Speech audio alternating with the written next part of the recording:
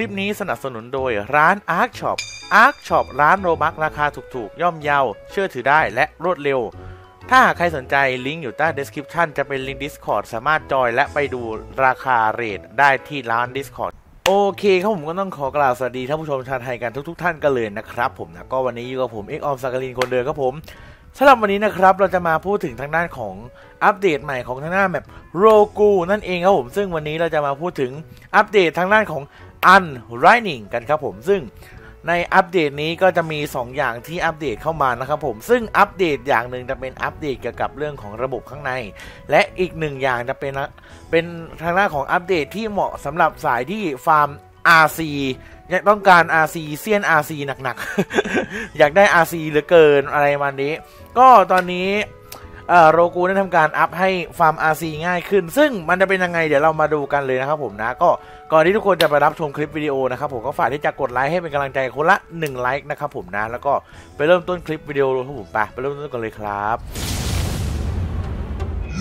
โอเคครับผมมาเดี๋ยวเรามาเริ่มจากอัปเดตแรกกันเลยนะครับผมซึ่งอัปเดตแรกจะเป็นอัปเดตเกี่ยวกับของ Eto Yoshimura นั่นเองนะครับผมซึ่งณตอนแรกเนี่ยไอ้เจ้า Eto เนี่ยมันจะเกิดทุกๆ 20นาทีนะครับผมแต่ตอนนี้ ได้ถูกปรับนะครับผมให้เหลือเพียงแค่ 10 นาทีเท่านั้นนะครับ มันเป็นเหตุเพราะว่าเนื่องจากเมื่อวานนะครับผมนะ ช่วงวันที่ 8 พฤษภาคมนะครับ คือตัวเซิร์ฟเวอร์โรกูนี่มันบั๊กครับ คือไอ้เจ้าตัว Eto เนี่ยมันบั๊กคือแบบพอเราเข้าเซิร์ฟเวอร์ใช่ไหมพอเราฆ่าเอโตปุ๊บ เพียงแค่นับแค่ 8 วิ 1 2 3 4 5 6 7 8 โป๊ะ มันเกิดใหม่ ถ้าใครได้ดูไลฟ์ผมเมื่อวานอาจจะรู้ว่าเอ้ยเนี่ยมันเกิดใหม่จริงๆ ผมไม่ได้ล้อเล่นนะครับผมนะ ก็มันเป็นบั๊กนะครับผมซึ่งก็เลยทำให้ซูชิได้ทำการปรับเวลาทางด้านของเจ้าตัวเกิดเอโตจาก 20 นาทีเป็น 10 นาทีนะครับผมเพื่อความรวดเร็วนะครับนะ แล้วก็จะมีอีกอัปเดตหนึ่งครับผมซึ่งจะเป็นอัปเดตเกี่ยวกับตัวแสงเงานะครับผมนะ ซึ่งถ้าให้ดูกันตอนกลางคืนอย่างเงี้ย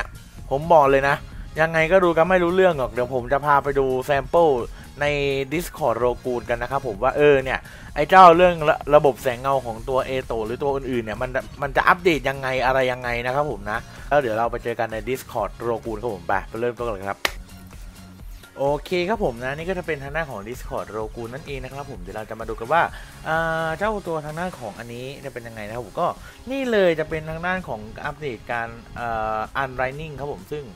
ก็นี่แหละนี่ก็คือความแตกต่างของมันนะ เห็นไหมทุกท่านลองดูดิ อันนี้คือออย่างอันล่างเนี่ย อันล่างนี่คือมันเพิ่มเขาเรียกว่าแสงจากสกายของแสงท้องฟ้ามาเห็นไหมทุกท่านลองดูดิ เนี่ยโอ้ถือว่าเป็นเสียงที่โอเค สีที่โอเคนะลองดูดิ แต่ว่ามันก็อาจจะทำให้ดูแบบแปลกๆหน่อยนะพอเห็นอย่างเงี้ยรู้สึกแบบเวลาเห็นรูปร่าง material ของทางด้านตัวของ Eto เนี่ยมันก็จะทำให้รู้สึกแบบแปลกๆหน่อยอะคือ มันมันไม่เหมือนกับที่เราเคยเห็นมาก่อนนะคือสีมัน เป็นอย่างเงี้ยสีมันเปลี่ยนนะเออ นั่นแหละ เนี่ย อืมนะครับผมคือจริง ๆ ทั้งหมดทั้งมวลแล้วทั้งคลิปเนี่ยก็มีแค่นี้ ใช่มีแค่นี้จริง ๆ นะ นี่ก็จะเป็นทางด้านของอัปเดตใหม่ที่เพิ่งอัปเดตมาตอนเมื่อตีห้าบ้านเรานั่นเองนะผมนะก็โอเคครับผมสำหรับวันนี้นะครับผมก็ต้องขอจบคลิปไว้เป็นเพียงเท่านี้นั่นเองก็ต้องชอบฝากที่จะกดไลค์กดแชร์กดซับแล้วกดกระดิ่งกันด้วยนะครับผมนะ วันนี้ผมขอตัวลาไปก่อนแล้วเดี๋ยวเรามาเจอกันในคลิปหน้า วันนี้ไปแล้วนะครับผม สวัสดีครับ